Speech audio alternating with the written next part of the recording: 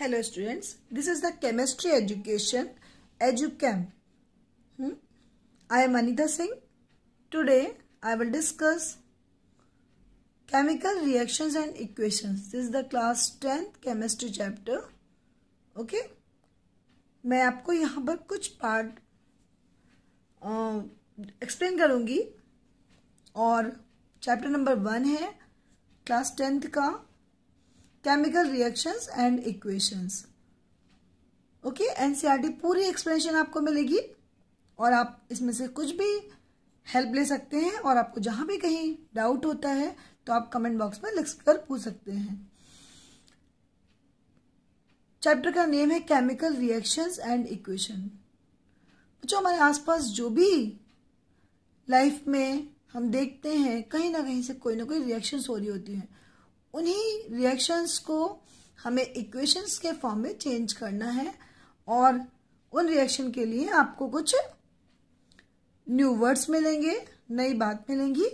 चलिए let's begin consider the following situations of daily life and think what happens when daily life की कुछ situation को हम consider करते हैं और देखते हैं। Milk is left at room temperature during summers summer के टाइम पे मिल्क को रूम टेम्परेचर पे छोड़ दिया जाता है तो क्या होता है? An iron tawa pan nail is left expose to humid atmosphere किसी लोहे की चीज़ को आयरन की चीज़ को या चाहे तवा है पैन है कोई कील है हुँ? हम्म, उसको हम नॉर्मल एटमोसफेयर पे छोड़ दें जब मॉइस्चर प्रेजेंट हो। ह्यूमिड मीन्स ऐसी एयर जहाँ पे मॉइस्चर भी प्रेजेंट हो। ग्रेप्स गेट फर्मेंटेड जो अंगूर होते हैं, वो फर्मेंट करने के लिए रख दिए जाए। फ़ूड इज़ कुकड खाना जब पकता है कुकिंग होती है तो what will happen food gets digested in our body food का जो हमारी बॉडी में डाइजेशन हो रहा है, वो क्या है? वी रिस्पायर हम ब्रीथिंग करते हैं, सांस लेते हैं। तो ये क्या है? कि जो हमारी डेली लाइफ में ये चीज़ें हो रही हैं, वो एक्चुअल में है क्या? In all the above situation, the nature and the identity of the initial substance have somewhat changed. हम इन सारी चीज़ों में और बहुत सी अदर चीज़ों में भी देखते हैं कि जो उनका नेचर होता है जो वो स्टार्टिंग में होती हैं हम्म, उसके बाद इनमें से कुछ भी हैपनिंग होने के बाद वो किसी अदर फॉर्म में चेंज हो जाती है ओके जैसे मिल्क को आप रूम टेम्परेचर में समर के टाइम छोड़ देंगे काफ़ी देर के लिए तो मिल्क कडल्ड हो जाएगा मतलब मिल्क जो होता है उसके अंदर कडलिंग हो जाती है फट जाता है दूध आयरन में ह्यूमिड एटमॉस्फेयर में छोड़ने में रस्टिंग हो जाती है ग्रेप्स फर्मेंट हो जाते हैं फ़ूड खाना पकने के बाद जो आ, हम जो भी फ़ूड पकाते हैं वो ओरिजिनल जैसा नहीं रहता हुँ? हम्म? जो हमारी बॉडी में डाइजेशन होने के बाद जिस तरह हमने खाना खाया होता है वैसा ओरिजिनल फॉर्म में नहीं मिलता डाइजेशन हो जाता है विद रिस्पायर है ना? तो हम रिस्पायर कर लेते हैं, हम ओ लेते हैं और सी को रिलीज़ करते हैं। ये सब चीज़ें क्या हैं? क्या शो कर रही हैं ये? तो कुछ ना कुछ चेंजेस आए इन सारी बातों में। We have already learn about the physical and chemical changes of matter हम पहले ही देख चुके हैं कि क्या फ़िज़िकल चेंज होते हैं और केमिकल चेंज क्या होते हैं। फ़िज़िकल चेंज वो चेंजेस होते हैं जिसमें कोई भी जो चेंज हुआ होता है वो अपनी ओरिजिनल फॉर्म में वापस आ सकता है। बट केमिकल चेंज में एक नया प्रोडक्ट बन जाता है। हाँ एक नया प्रोडक्शन हो जाता है जो कि वापस अपनी ओरिजिनल फॉर्म में नहीं आ पाता। यू मे पर be wondering as to what is actually meant by chemical reaction chemical reaction में एक्चुअल में है क्या? हुँ? हम्म? कैसे हम केमिकल रिएक्शन को जानते हैं? कैसे ये होती हैं? इन्हीं सब चीज़ों को हमें देखना है। जैसे फॉर एग्ज़ाम्पल हमने लिया figure number one point one यहाँ पर आप एक डायग्राम देख रहे हैं, इसमें क्या हो रहा है, एक हैंड दिख रहा है जिसने टोंग पकड़ रखी है और उसमें उसने ले रखा है मैग्नीशियम रिबन मैग्नीशियम का रिबन ले रखा है ओके यहाँ पर एक चाइना डिश रखी हुई है, जिसपे जो मैग्नीशियम रिबन की बर्निंग हो रही है, यहाँ से बर्नर ले रखा है हाँ जो जला रहा है, इसको इग्नाइट कर रहा है, उसका कुछ जो ऐश है, वो इस चाइना डिश में आ रही है। जो राख गिर रही है, वो क्या है? इस चाइना डिश में आ रही है। तो activity number one point one क्या शो करती है? This activity needs the teacher's assistance it would be better if students wear suitable eye glasses मतलब हमें कोई लैब में जब हम वर्क करते हैं तो इस एक्टिविटी के लिए हमें आई ग्लासेस को वेयर करना चाहिए। Clean a magnesium ribbon about three to four centimetre long by rubbing it with sand paper magnesium ribbon जो हम लेंगे उसके स्टार्टिंग में उसको अच्छे से रब कर लेंगे? हम्म, मतलब कि उसको क्लीन कर लेंगे। अब हमें hold it with the pair of tongs tong के थ्रू उसको पकड़ लेना है। Burn it using spirit lamp और बर्नर इसको बर्नर से क्या करा? बर्न करा। And watch glass as shown in the figure one point one और वॉच ग्लास में इसकी एस को कलेक्ट करेंगे।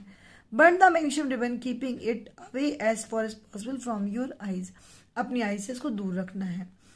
वॉट डू यू ऑब्ज़र्व आप क्या देखोगे? आप देखोगे जब मैग्नीशियम रिबन को बर्न किया जाता है तो जो इसकी एस इस वॉच ग्लास में आती है, वो वाइट कलर की होती है। कितनी कैसी होती है? व्हाइट कलर की होती है। फ़र्स्ट क्वेश्चन आता है कि मैग्नीशियम रिबन को क्लीन क्यों किया जाता है? तो मैग्नीशियम रिबन को हम सैंड पेपर के थ्रू क्लीन करते हैं, जिससे उसके ऊपर हुई कोटिंग, जो कि मैग्नीशियम कार्बोनेट की कोटिंग हो सकती है, मैग्नीशियम ऑक्साइड की कोटिंग हो सकती है, उस कोटिंग को खत्म करने के लिए सैंड पेपर से इस मैग्नीशियम रिबन को क्लीन करते हैं।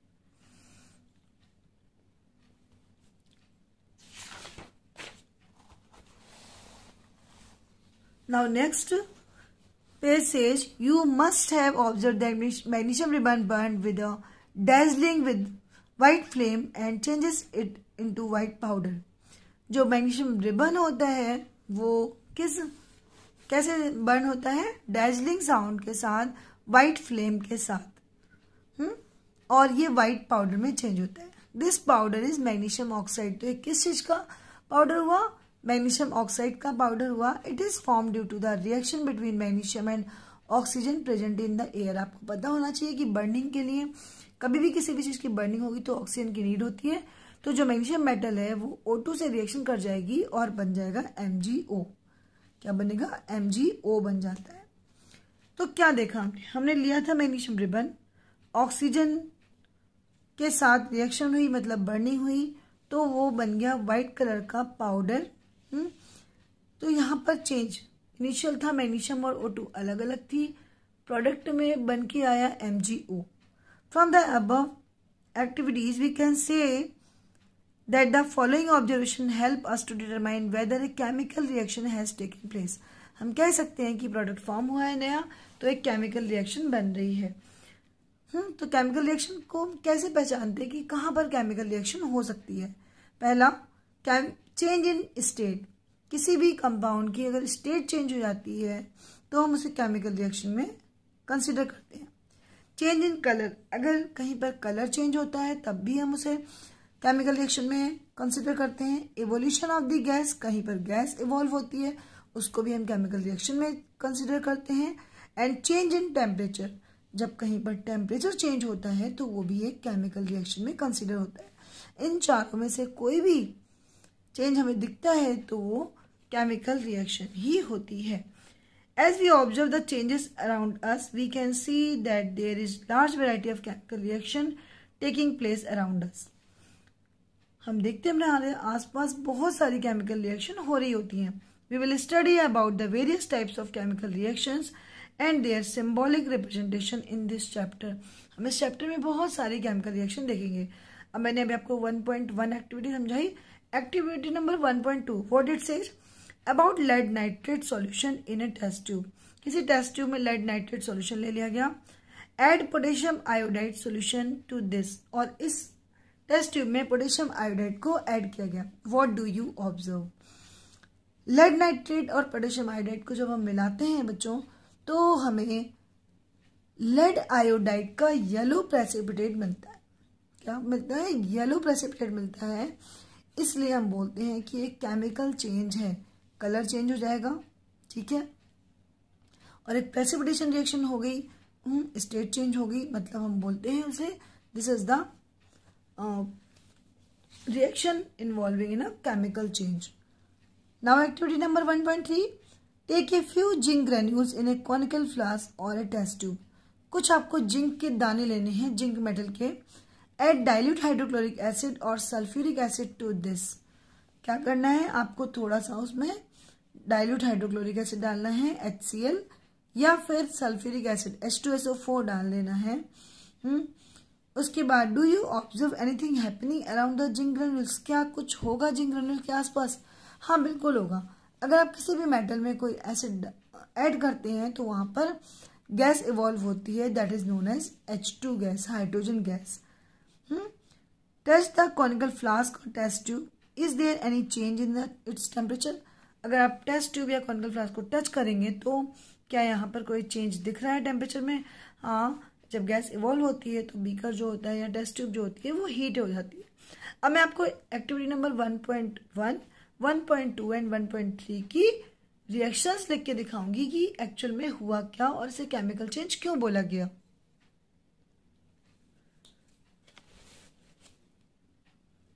Activity number one point one one point one. क्या कह रही थी बच्चों ये? कि मैग्नीशियम का रिबन लिया, उसको बर्न कराया मतलब ओ टू है हम्म बर्निंग के लिए में O2 की नीड होती है तो प्रोडक्ट फॉर्म होता है MgO ठीक दिस इज़ मैग्नीशियम ऑक्साइड और ये जो मैग्नीशियम ऑक्साइड बना है ये वाइट कलर का पाउडर है। White colour powder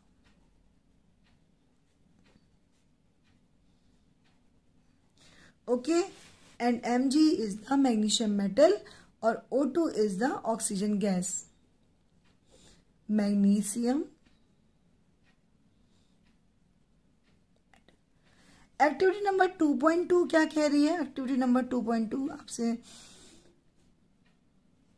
कह रही है कि आपने लेड नाइट्रेट लिया। Lead nitrate formula is PB NO three whole twice this is known as lead nitrate plus इसी टेस्ट ट्यूब में पोटेशियम आयोडाइड डाल दिया गया K I okay what will happen ये एक एक्व सॉल्यूशन है, ये भी एक एक्व सॉल्यूशन होगा। और क्या बना देंगे? पीबी और आई के साथ कॉम्बिनेशन होता है that is known as PB I two plus K N O three activity जो टू पॉइंट टू है, उसकी रिएक्शन ये होगी। तो जो पी बी आई टू होता है, वो येलो कलर का बनता है। लेड का कंपाउंड येलो कलर का बनता है। येलो कलर का प्रेसिपिटेट प्रेसिपिटेट फॉर्म हो जाएगा। Formula will be P B I two this is the activity number two point two lead nitrate when reacts with the potassium iodide P B I two solid is formed and K N O three aqueous test tube में yellow colour का compound बनेगा that is known as lead iodide lead iodide activity number three point activity number this is the one point two one point two activity and now one point three activity one point three is says zinc granules ले लिया, zinc के दाने ले लिए उसमें H की reaction कराई हम्म? तो आपको जो ऑब्जर्वेशन फाउंड होगी वो एच टू गैस निकलेगी। और एच टू गैस को हम चेक कर सकते हैं पॉप साउंड से। ओके एंड सॉल्ट फॉर्म होगा that is known as Z N C L two reaction को बैलेंस कर देते हैं।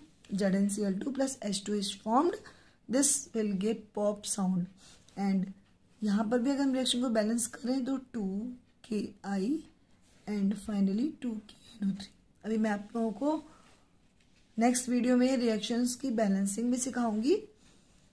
तो this is the Z N C L two plus H two gas fill form pop sound या फिर आप burning candle लाओगे।